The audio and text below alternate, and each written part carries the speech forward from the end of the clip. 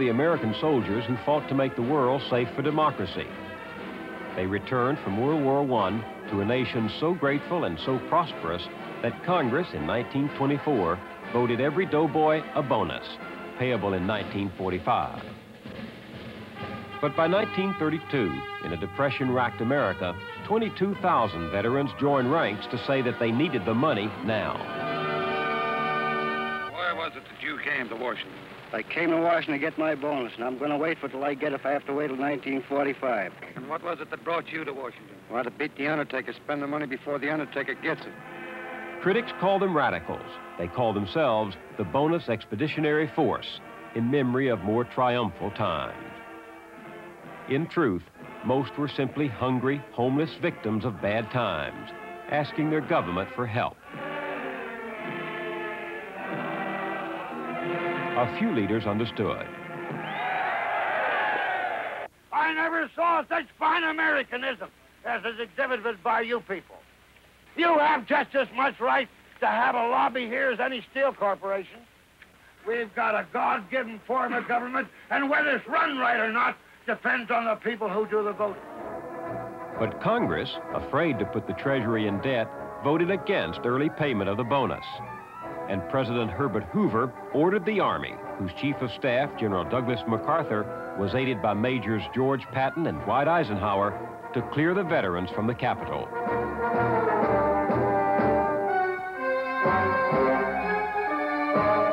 It was July 1932, the third year of the Depression, and a few months from a presidential election. I'm Bill Moyers. Herbert Hoover could stop the bonus marchers, but not the Depression. Millions of Americans who already saw him as helpless in the face of suffering now thought him callous toward it. He lost to Franklin Roosevelt in an election that drastically changed American government. It's hard to imagine today, but in 1932 we had almost no provision of any kind for the federal government to offer a, a helping hand to the victims of economic collapse. The old credo said that the individual and his family were responsible for their own well-being, and if hard times struck, well, they'd have to shift for themselves or rely on the providence of neighbors whose own cup might be empty and a stiff upper lip. But now that vast numbers of people were out of work with no resources of their own, private charity and local government were not enough. The soup kitchens and poor farms of America were simply overwhelmed. People had nowhere to turn but to Washington for a safety net. The great improviser who came to the White House in 1933 was ready to act with a new deal for the country. An unprecedented assortment of programs came flooding from the White House and Congress aimed at putting people to work while preserving the system from more radical alternatives. It was the beginning of the welfare state American style. That's history history oft told. But in this broadcast, we'll take a look back on those times through the lenses of the government's own cameras and with the help of some old, endearing memories.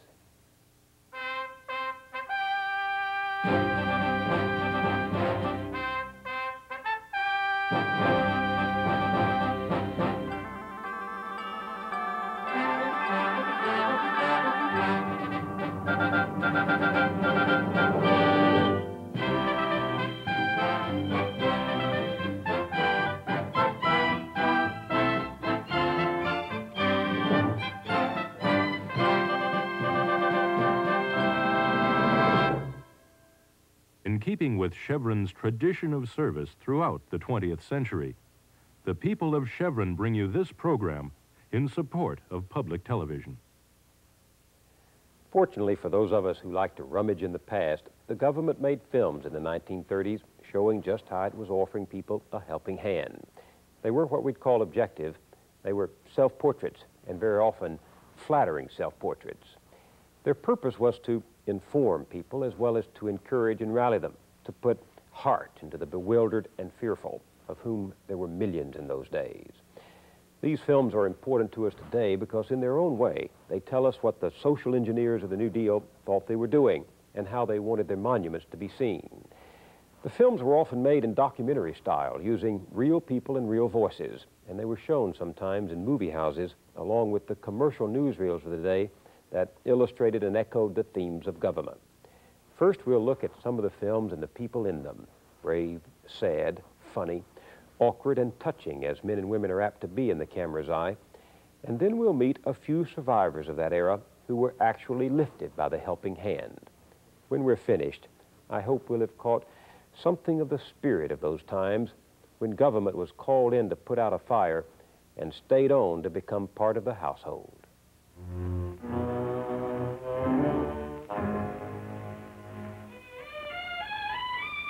Discouragement, fear, failure. Only a few years ago, these stalked the nation. Depression haunted America.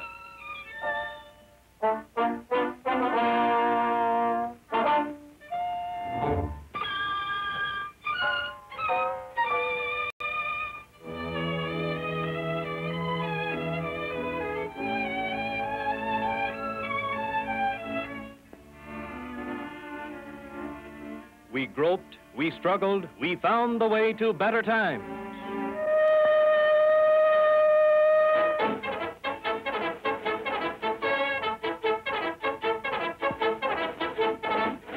Today, depression is a fading memory. Millions of men and women have found employment, and with it, confidence and hope.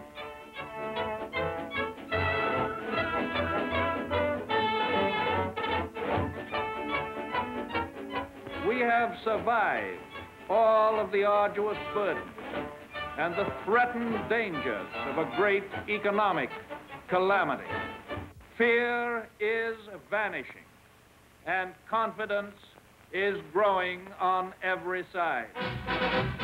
One of the first recovery efforts was NRA, the National Recovery Administration.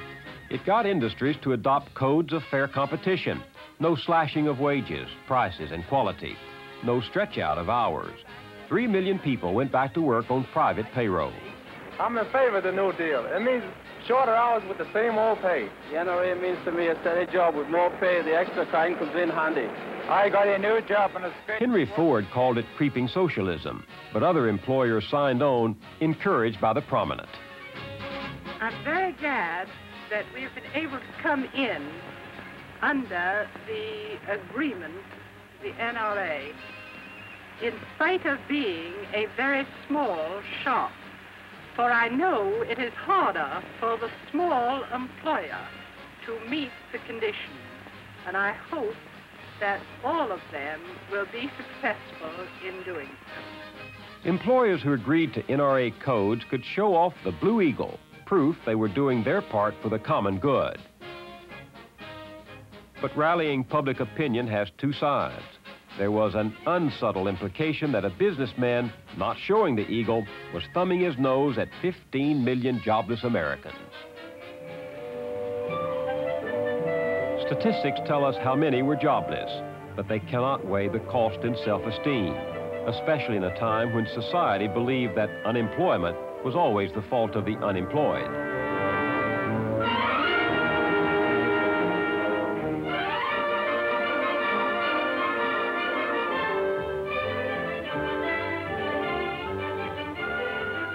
NRA codes raised the total of adult jobs by banning child labor and setting a maximum 40-hour week, 40 hours for $12.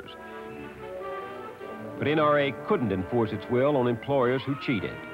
Soon it was clear that the private sector could not create enough jobs alone. So in 1935, the WPA was formed to make government itself the employer of last resort.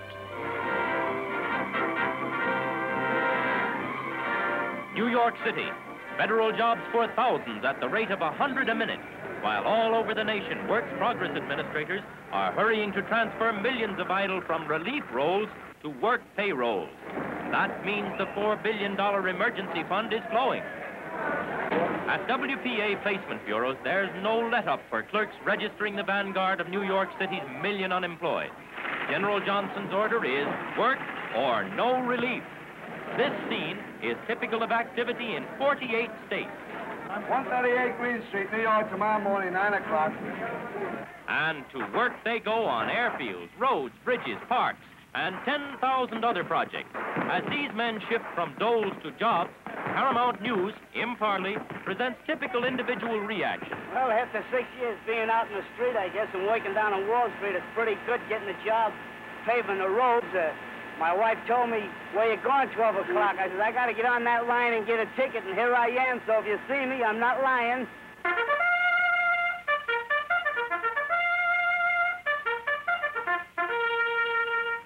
There's been a good deal of talk about the vast multitude of people who are on home relief not wanting to work, not wanting jobs. The demonstration given in New York in the last three or four days of vast crowds of people from home relief clamoring for the work that is now ready for them on work relief should refute that charge against the destitute American worker forever. Well, I think Johnson's full of bull. Giving out this coolie wager at $55, I, for one, don't approve of it. I demand my rights as a skilled worker to get skilled pay.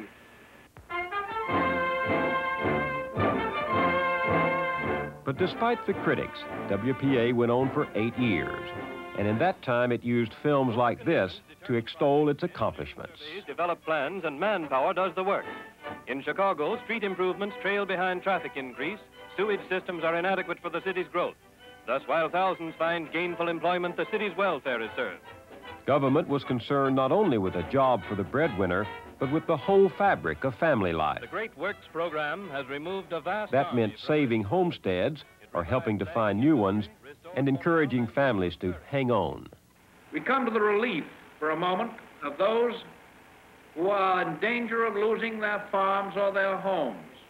I have publicly asked that the foreclosure on farms and chattels and homes be delayed until every mortgagor in the country has had full opportunity to take advantage of federal credit. And I make the further request that if there is any family in the United States about to lose its home or its farm, that family should telegraph at once, either to the Farm Credit Administration or the Home Loan Corporation in Washington, requesting their help. Here is the first home in New Jersey to be saved by a government loan. 12-year-old Adam Schmidt heard President Roosevelt on the radio and wrote him a letter.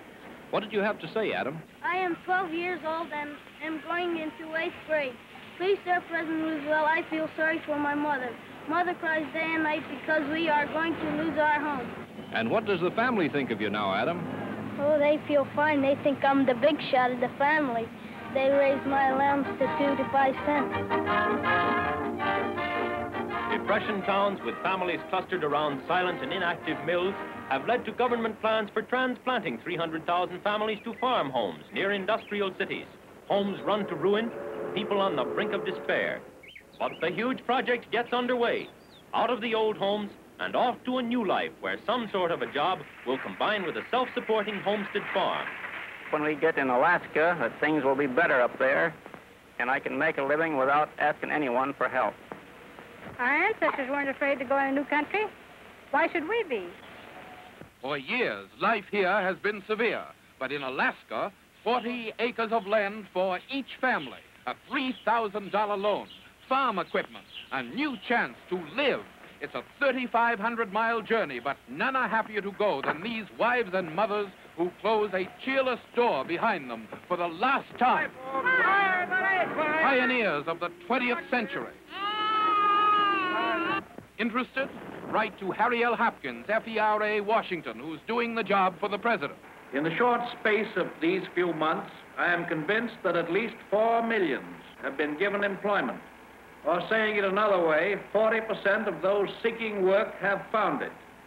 That does not mean, my friends, that I am satisfied or that you are satisfied that our work is ended. We have a long way to go, but we are on the way. People saw Franklin Roosevelt only now and then in the newsreels, but they heard him frequently on the radio. There, his voice was a superbly effective tool. The devoted always felt comforted. Detractors were left sputtering with rage. Early in the first term, of course, the devoted were many. But honeymoons end, and the Depression didn't. It lingered on despite vast infusions of federal dollars. The paradoxes grew as fast as the alphabet agencies. Paradoxes like the government paying farmers to kill surplus hogs and plow under surplus cotton while city folk were hungry and shivering and packing houses and textile factories were closed down. The contradictions multiplied Roosevelt's critics. The left said he wasn't changing the profit system enough. The right said he was destroying it. Under the political noise-making, great issues were at stake. How much could and should government do for the general welfare without becoming, as Lincoln once put it, too strong for the liberties of its people? In 1935, there came one of those small legal challenges that shift the course of great events. Four Brooklyn, New York poultry merchants, well, they weren't poultry merchants, they were chicken sellers. They sold chickens for a living.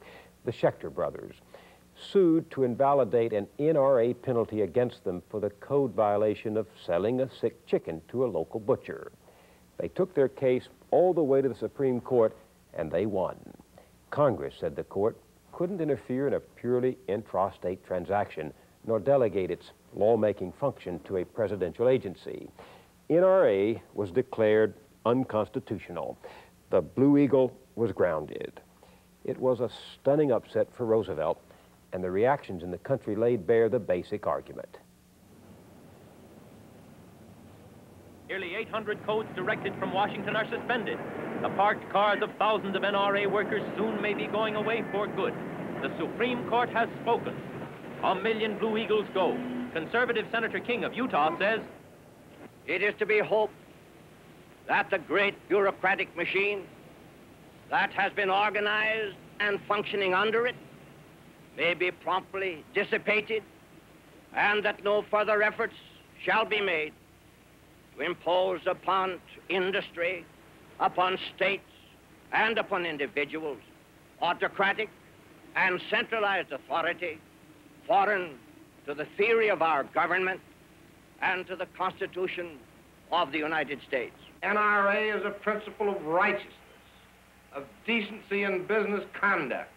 The sick chicken opinion didn't knock that principle down.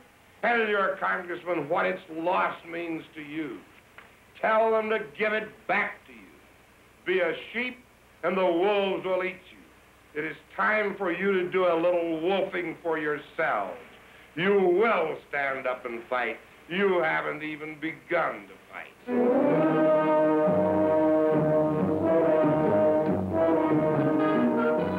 New Deal planners didn't intend to quit.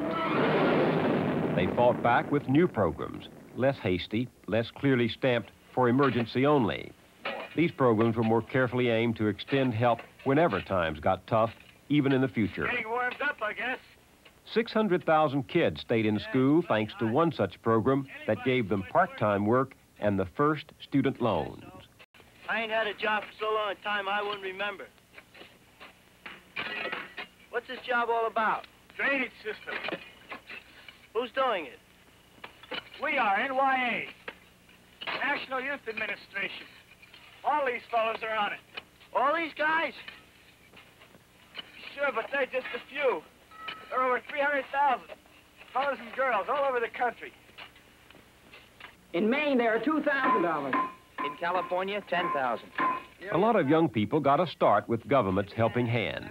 Richard Nixon was able to stay in law school because of the NYA. A youthful Lyndon Johnson ran the program in Texas. We're learning, man.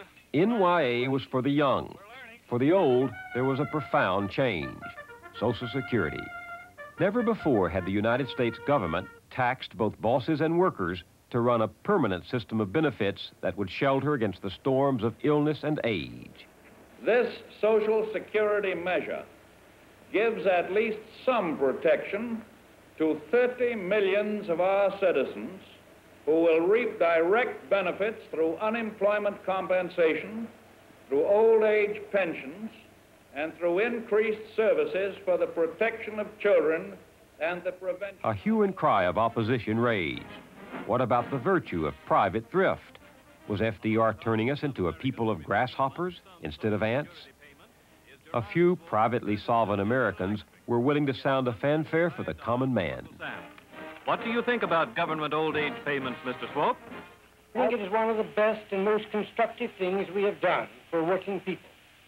Many companies have had an old age pension system for years, but this makes it apply to all. Men and women who spend the greater part of their lives in industry, when they reach the age of 65, will now have a monthly income and have it as a matter of right and not as charity or relief.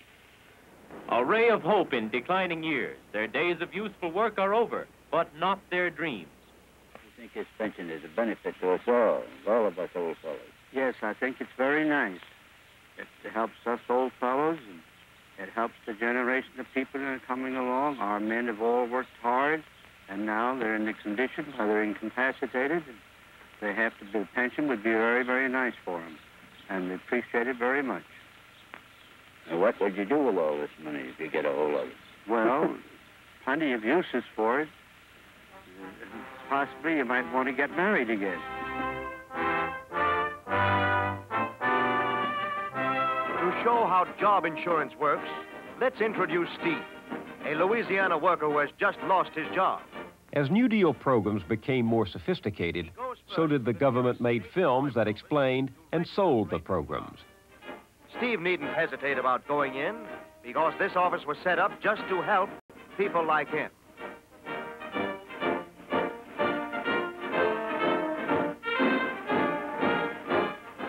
Quick checkup shows that Steve has not already registered at this office, he is introduced to the interviewer, who will help him register for work. Steve's financial... Unemployment insurance was simply a part of the Social Security law. But in this inspirational dramatization, it looked like a positive blessing bestowed by a government that was not Big Brother, but kindly uncle. Job insurance. This is the way the state of Louisiana is doing its part in the nationwide crusade against unemployment, fear, and insecurity. FDR became the paternalistic symbol of that family like benevolence, enough so to win a second term in 1936. There was a redoubtable first mother playing her role, too. I believe that this is the happiest birthday of my 80 years. It is nice to be here with my son and all my family.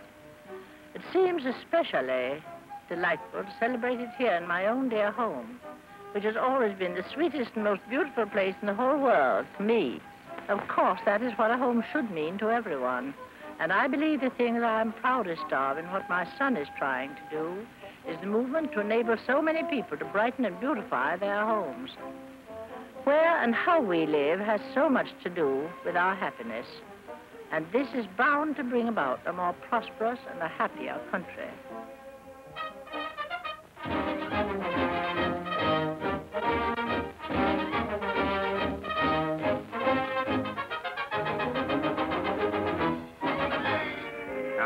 Young couple with an eye for the future, strolling through the colony of miniature model homes. Each house is an architect's original design, and each will cost less than $7,000 to build. LACRA work. The new dealers came as emergency repairmen, but began to sound like crusaders. Take a simple idea like federally financed home loans to revive the basic housing industry. First it's old, then presto, it's new. What better way to promote the idea than in a film? Whose imaginary owners needed more room. So flip it over and we find the addition of a spacious attic and a new wing. A film that didn't just illustrate, but entice. A hymn of praise to the American home. They made it look so easy. Your house starts to grow before your eyes. Soon it's finished, and you have the thrill of saying, That is mine. With the National Housing Act insured mortgage, you can pay for a home like this in monthly installments like rent over a period as long as 20 years. For instance, a 20% down payment and $40 a month will buy an attractive bungalow like this. The prices now seem absurdly low, but in those days they were barely within reach of thousands still living in shanties or tenements. The government said it was patriotic to make that middle class upward reach.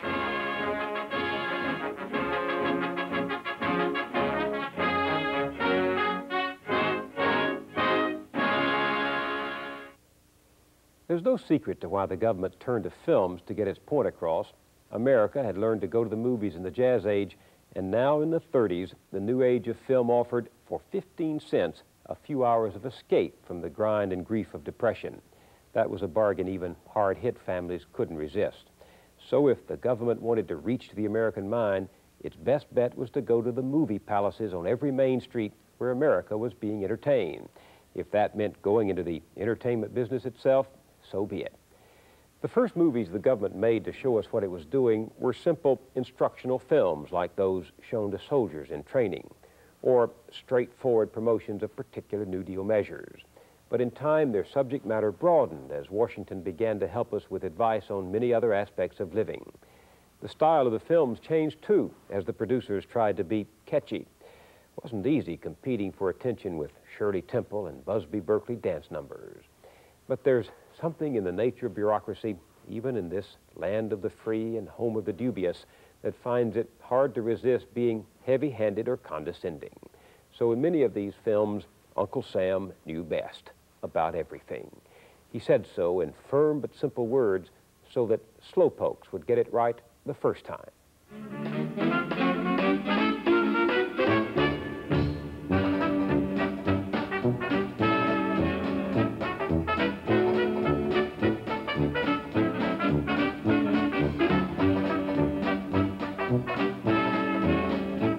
The subject matter was limitless. How to, when to, why and why not to do almost anything.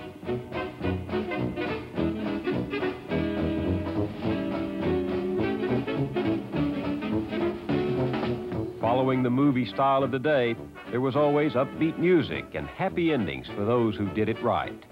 When the bureaucrats promised a simple solution for every problem, they were, after all, only going Hollywood.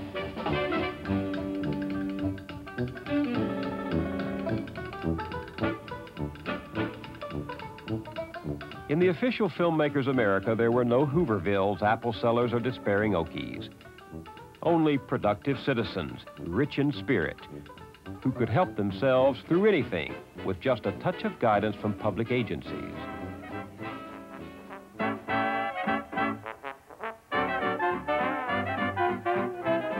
Authority took many roles, but always as a wise helper. A cop, for instance, pointing out the perils of the street.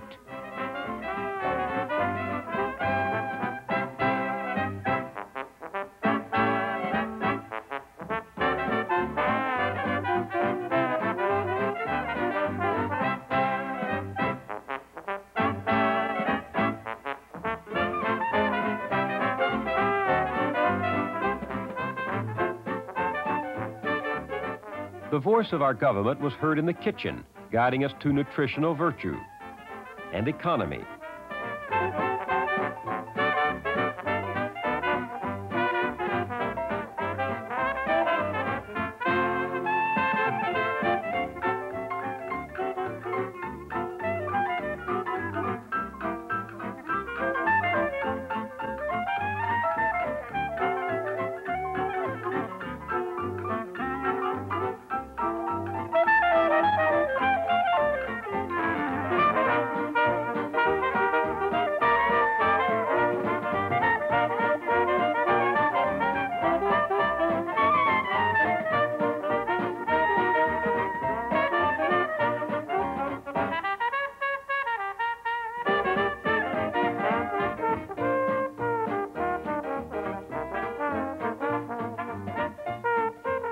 Promoting the general welfare, the government even followed us into the barnyard and the sheep pen.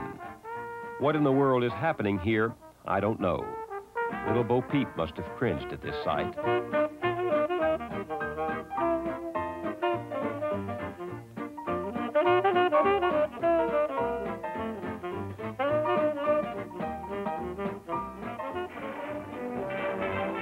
Trained government inspectors grade the meat and mark it with its type and quality. An unmistakable guide for the housewife purchaser. May I see the grade stamp on that? Sure. Well, that looks okay. As one of the many retail butchers of this, this city, uh, we feel as though this new grade stamp law has helped our sales tremendously, as a customer can be assured that she will get her money's worth. Wise Uncle Sam would help you get your money's worth once you had some money. People would try anything old fashioned gold panning or newfangled schemes. Denver, for example, was flooded with chain letters, each envelope a token of someone's need to believe in a get rich quick scheme.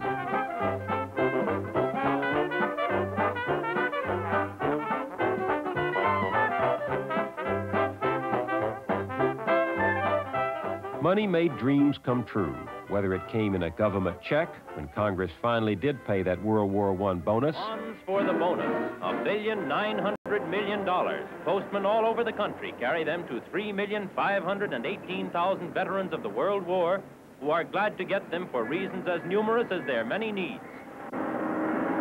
Country post offices receive their share of the payments, which range from sixty to fifteen hundred dollars each. Most of the money is expected to be spent at once. Joe, what are you going to do with your bonds? Well, I've been waiting for this check long time. I'm going to buy half a dozen caskets. I'm going to undertake a business. What are you going to do with your bonds, Harry?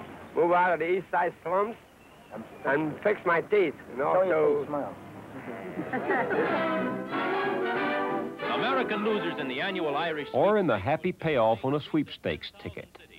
Close to two million Americans have paid five million dollars for sweepstake tickets. A thousand prizes, small and a few large, came to this country. And now a tailor and his wife, Mr. and Mrs. Sam Mash of Brooklyn, who know exactly what they're going to do with the money. Now, Sam, after 53 years outbreak, we're gonna I ta- close the store and I will run away and take a rest, and the rest I'm gonna have of my old age. Lots a lot. That's all? Ma, Oh, yeah. that's all.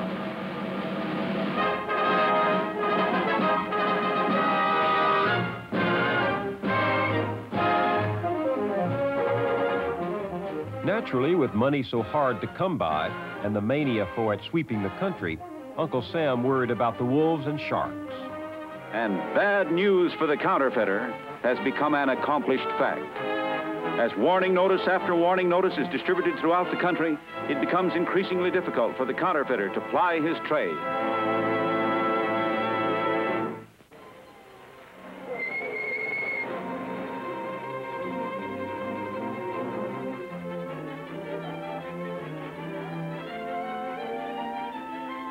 Uh-oh. What's this? Some new kind of wallet?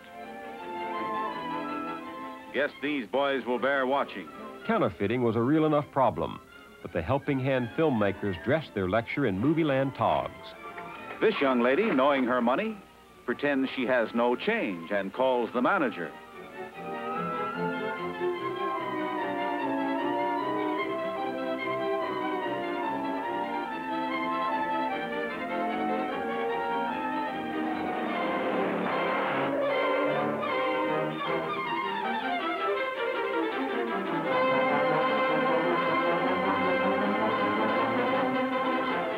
Secret Service encourages close cooperation of this sort from all merchants and law enforcement officers. You too can do your part if you know your money. Like most movies in the 30s, this one had the happy ending that people hungered for.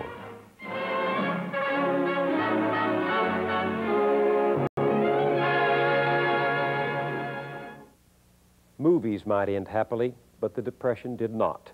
In January of 1937, at his second inaugural, FDR spoke of one third of America ill housed, ill clad, ill nourished. One third of whom so many were suffering children. Emergency work programs like WPA and NYA were supposed to be temporary to take up the slack until the private sector got back on its feet. But with 9 million still unemployed, the helping hand of government was all that kept some people from giving up altogether. From the distance of our times, it may seem hard to understand the heart of the Depression experience when so many people were caught up in a, a web not of their own spinning. But their common sorrows can still be felt in the photographs of a Dorothea Lange or the novels of a John Steinbeck. There are among us today people with first-hand memories of what life was like in those hard times. They were young then. They remember the holes in their pockets and the holes in their dreams. But they also remember what kept their hopes alive. And for the men you're about to meet, it was the Civilian Conservation Corps, the CCC, one of the most successful ventures of the whole New Deal.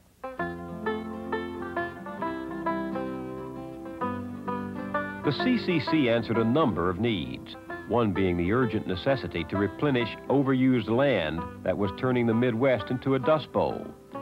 The other was to get thousands of impoverished and aimless young men off the roads and onto some productive path. No one knows exactly how many took to wandering during the Depression. Well, I'm from South Dakota, and my home's in Rapid City, a very small town. And uh, I've got a girlfriend there, and the reason I'm in this large city is because she turned me down because I didn't have a job to uh, show her good times. Henry Ford thought these vagabond boys would get a better education in the hobo jungles than they could in college. That wasn't a universally held opinion. A diet of thin soup might only teach them about hunger or stealing. But reclaiming and developing lost land, now that might help them reclaim and develop their own natural resources. So the first recruits went off to camp in the summer of 1933. The pay was $30 a month, of which $25 was sent home. my sunshine, my only sunshine. You make me happy when skies are gray. You'll never know, dear, how much I love you. So please don't take my sunshine away. The other night, dear, as I lay sleeping, I dreamt I held you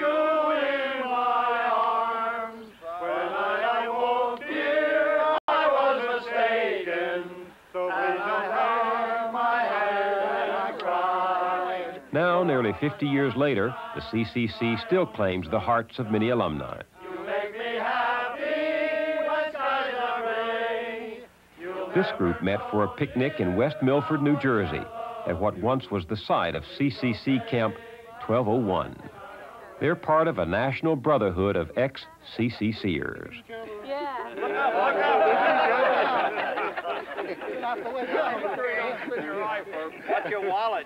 For most, even the bitterest times have turned sweet in memory.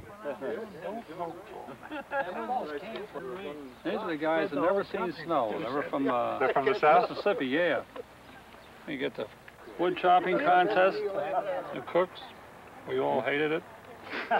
That's me, right? You invented your company, didn't you? Like the old Sarge, huh? Take, take your shirt off and it says. Yeah, we had a, we had a big outfit. Okay. Different barracks and different men.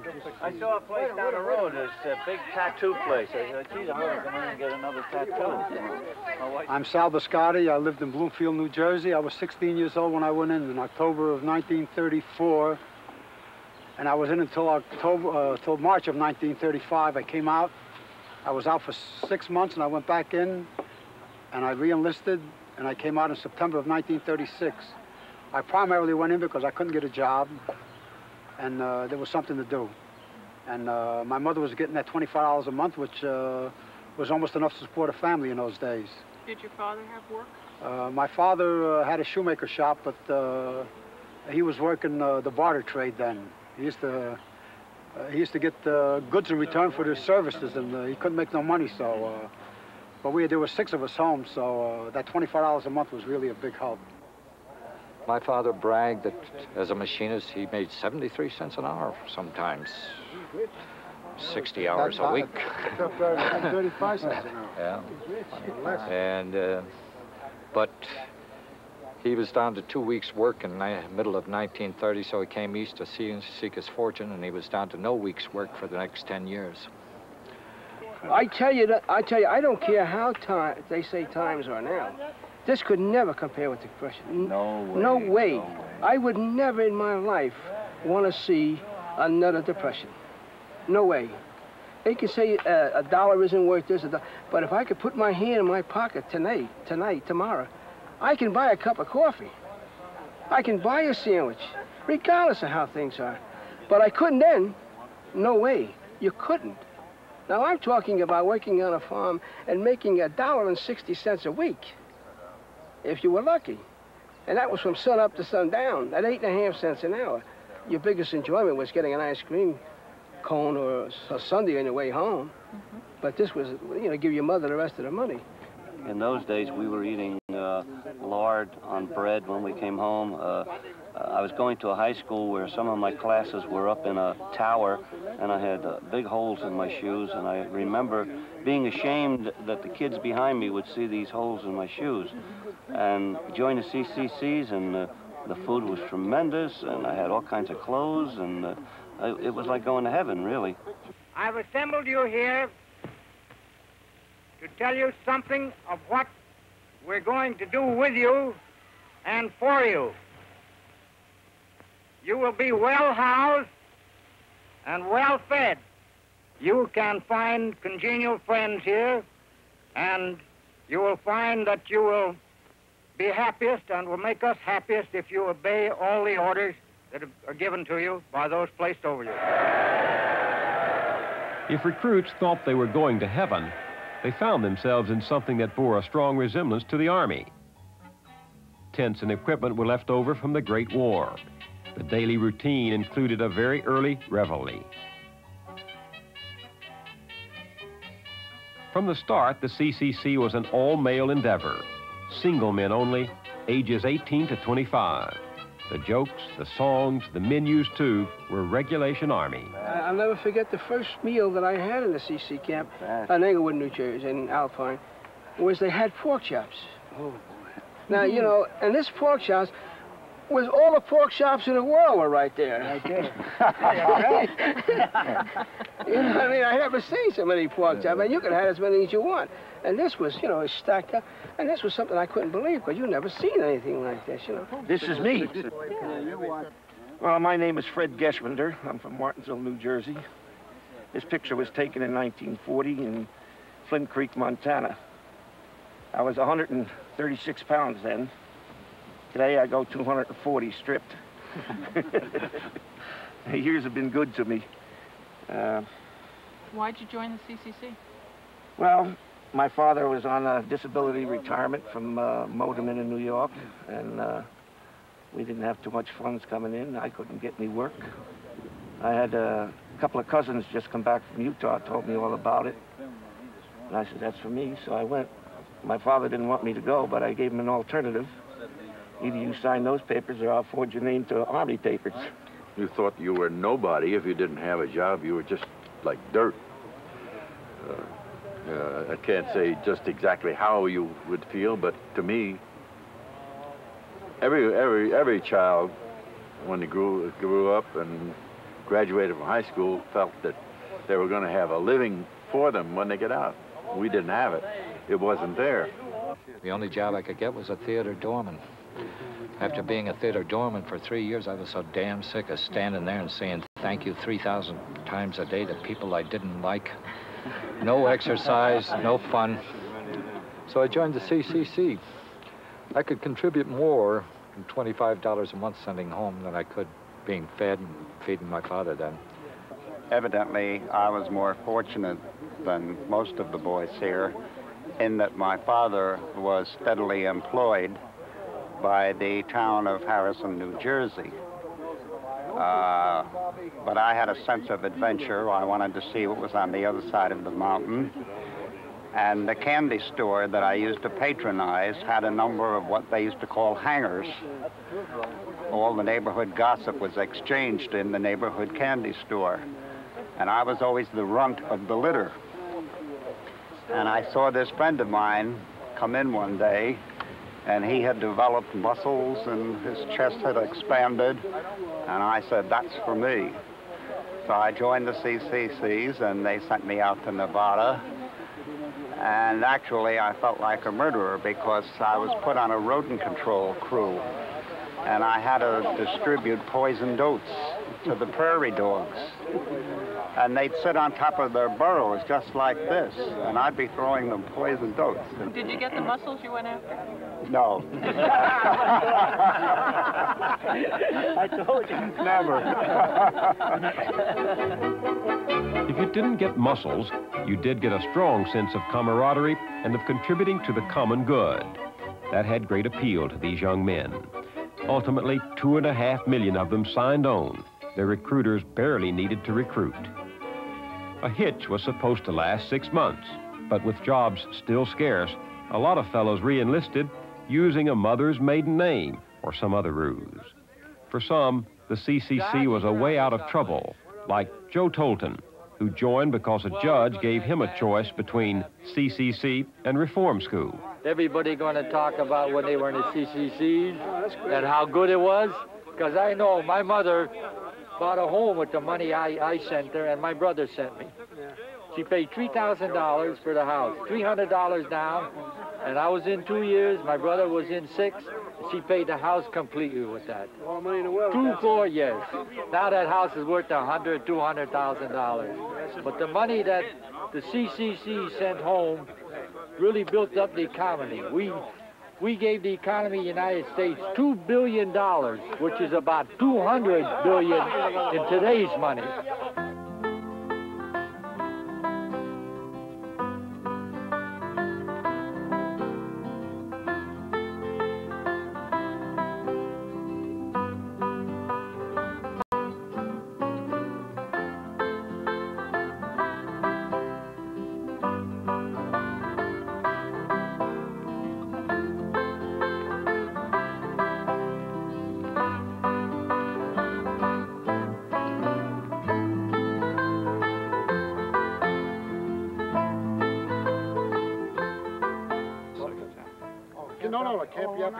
This is for the civilian.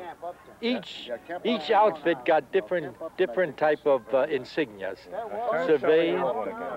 This here, this is the original badge that we wore on the uniform 50 years ago.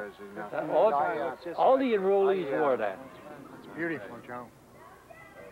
Now, this here is the CC timber saw.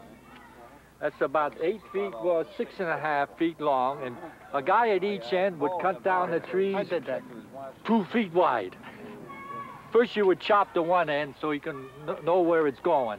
Then two guys back and forth, sing song, and what a what a. But once once you got into it, it's nice. You'd go back and forth, maybe a half hour to cut down one tree. Sometimes an hour. Depends how how good and how sharp the saw was. But this is But the you were a timber saw. Kid? Were you, you were a city kid? We learned. We learned. Yes, I didn't know nothing. No, I haven't heard. All I knew how was to rob people or break open stores. Yes. He was so I was good at that, delinquent. believe me.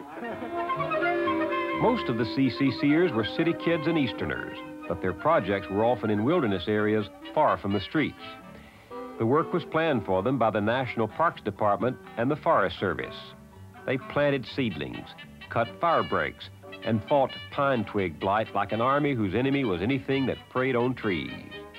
Today, we understand what safety means. And as with other soldiers, the government used film to teach them to take care of themselves in combat. But do we always practice what we know? Instead of telling you what is wrong, see if you can pick out for yourself the blunder. Pay close attention so you can remember the details.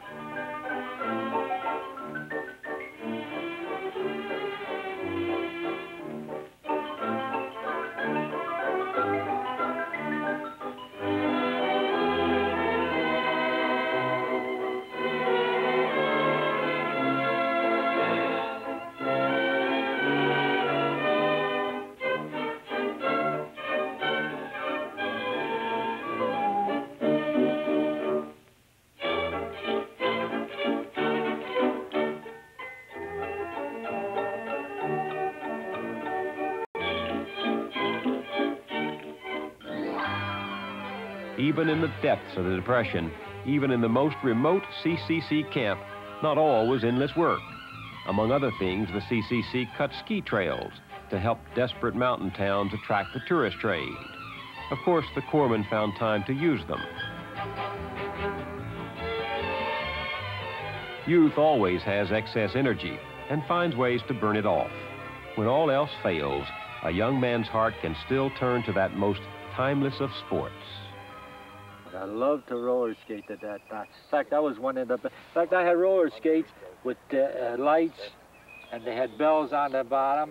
In fact, we started that idea. Then it went all over the United States. But the How about the girls? Where do you meet the girls at? Uh, Right, right in the roller skating rink. Oh, We would met go 'em. there. I met them in church on Sunday. On church? Sunday night, yeah. Ah, Sunday night they don't have church, and you go in there, and I always met my girlfriends right there.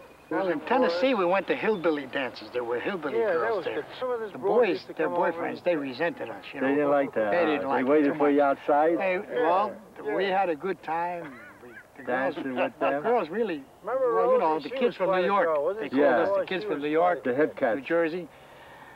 And when the dance was over, around midnight, we had to go back home. Oh, my They were God. waiting for us, Oh, huh? BB guns and 22s BB, and everything. yeah, yeah. Throwing rocks at us. Uh, we'd go every Saturday night. Nothing could keep us away. Nah. Nothing could keep them away indeed.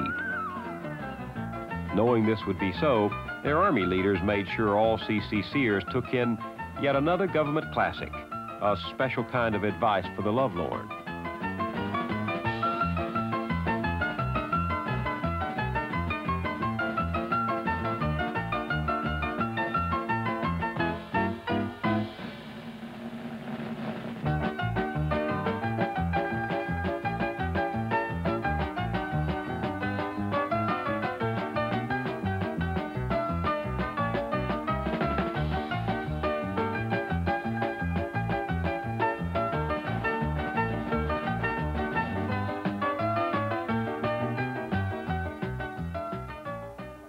The coffee that they feed you, they say it's mighty fine.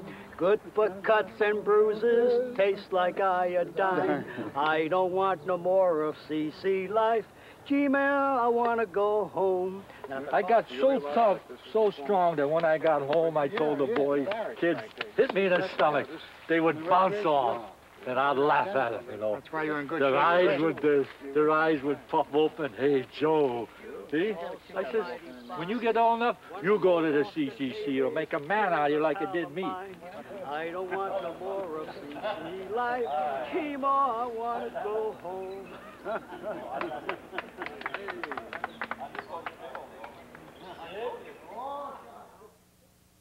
Listening to those men, it's obvious that for them, the trials and tribulations of the Depression led to travel, adventure, and maturity, to confidence in themselves and their country. That was important as America went down the road to the Second World War. Actually, it was the war, not the New Deal, that finally restored prosperity, and it was the war that sealed big government solidly and permanently into place. But that's another story. For the moment, it's enough to note that the films we've seen are small souvenirs left from a great transformation in American life. A New Deal that began essentially for the relief of the hungry and jobless soon was providing Social Security, policing the stock market, reclaiming farmland, building hydroelectric power plants, clearing slums, mediating labor relations, curbing the sweatshops, and otherwise beginning to reach into every nook and cranny of our land and lives. It just kept growing. By one reckoning, one half of the population today depends on spending by government at some level for some or all of their income. And the federal government is attacked by its critics for running amok and acknowledged even by its champions to be overly responsive to too many constituencies, to have attained unintelligible complexity at a largely uncontrollable cost. But that, too, is another story for another day. Neither the deficiencies of the New Deal nor the excesses of the system that later grew up from it diminish the fact that in desperate times this nation stirred itself to offer a helping hand where none had existed. If this didn't put the economy back on its feet, it kept millions of Americans off their knees. We cannot measure the difference that meant to them or to the survival of the democratic experience in America at a time when the world was swept by totalitarian forces and it seemed that freedom and self-government might perish from the earth. So we'll close this small window on those times with the judgment of the historians who wrote The Growth of the American Republic. It was, they said, of utmost importance to the peoples of the world that American democracy had withstood the buffetings of depression and that the American people were refreshed in their faith in the democratic order. I'm Bill Moyers.